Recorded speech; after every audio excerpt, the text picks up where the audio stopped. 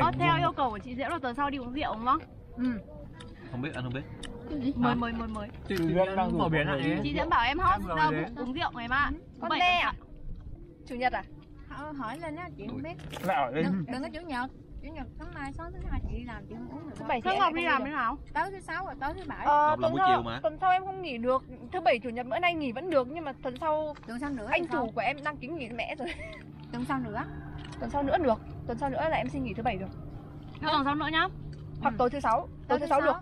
Tối thứ sáu được này Tối thứ sáu là tuyệt vời luôn á. Tại vì Ừ. bữa nay bọn em rảnh lắm. Quán thứ tháng 3 tháng 4 rảnh lắm. Ủa, mẹ pha rơi cái luôn kìa. Xong rồi tôi ngủ lại nha chị. Trông mưa ơi. Không sao. Thôi em nghĩ là lần sau để nữa. để thuê chiều chiều nhà nắng nghỉ vàng mới đẹp. Sao vậy? Em để thuê nhà nghỉ hôm sau thấy mọi người phờ phạc lắm. Mình khỏe mà. Mình vui lắm sao Ngủ ngon đấy Nhưng mà- rồi tại do À đây quyết định hôm lên nào. Ý là tuần thứ sáu Tuần thứ sáu như nhưng mà tuần tuần sau hoặc là tuần này. À đâu tuần này đâu được Tuần sau Tuần sau hoặc là tuần sau Ngủ nữa. ngon vừa rồi à Đó vấn đề rồi ạ